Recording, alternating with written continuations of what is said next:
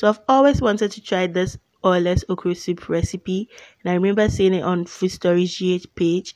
I went through her numerous recipes and I finally found this. So guys, let's make this. so I'm going to be using okra at them and instead of chicken I'm using crabs, wele. Then my crab just move.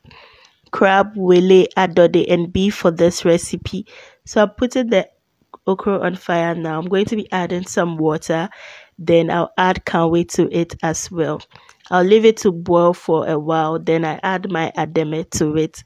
And as my ademe and okra is on fire cooking, I prepare my ingredients that I'll be using to steam my meat.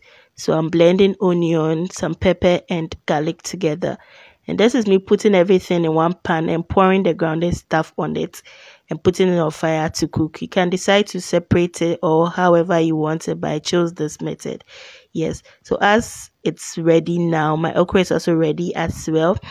So I just pour the okra on the steamed meat and leave it to boil for some time. I taste to see if salt is okay and I'm good. So this is me adding some onions and some akosombo that I found in my fridge because plenty fish or plenty meat never keep person. Thank you all for watching. Bye bye.